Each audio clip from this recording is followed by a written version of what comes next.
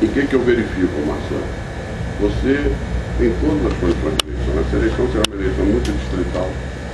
Vai ser uma eleição que o voto vai ser barrista. As pessoas estão muito descrentes, não é só do político, não. É da, da própria natureza do serviço público prestado à população. As manifestações, elas, se, elas se dão de forma genérica, é, exatamente porque há uma má prestação de serviços à população de uma forma geral. O Rio avançou, a cidade do Rio avançou, o Estado do Rio vem avançando, a, as melhoras são nítidas, mas a defasagem é, de um país com, a, com, as possibilidades do Brasil é imensa. Né? Então é evidente, eu acho que o povo é generoso demais.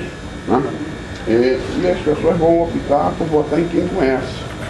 Quem conhece, quem é trabalhador, quem tem credibilidade, quem é honesto, quem é direito e quem tem bons apoios. Né? Quem tem bons apoios. Né? Quando cada um dos companheiros e companheiras leva o seu nome à comunidade, né?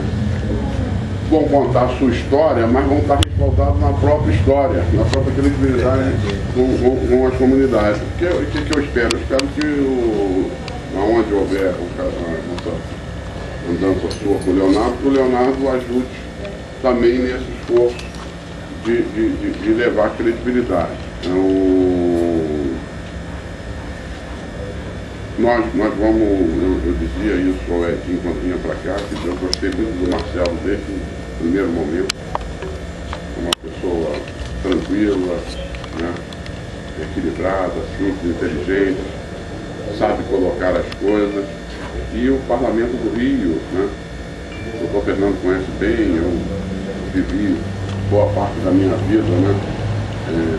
Parlamento, fiz 20 anos de mandato, fiz quatro vezes presidente da Assembleia, três vezes primeiro secretário com Cabral presidente, presidi a comissão de orçamento, eu fui líder do governo do Jola, fui líder do início da oposição no início do governo Marcelo. Então, eh, tive ali, passei por todas as fases do parlamento. E a maioria das pessoas são boas, né? mas evidentemente que, como em qualquer atividade, né? qualquer atividade tem gente boa e gente ruim muito ruim. Né? O... Só que o político nós temos uma vantagem.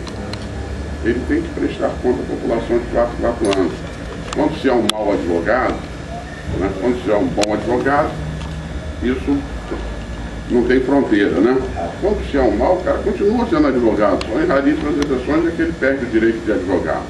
O político não, eu estou falando advogado, está aqui o Fernando, né? mas serve para o bom carpinteiro, para o bom pedreiro, para o bom confeiteiro como meu pai. Né? É, agora, o político não, se ele for ruim, a população tira. E a verdade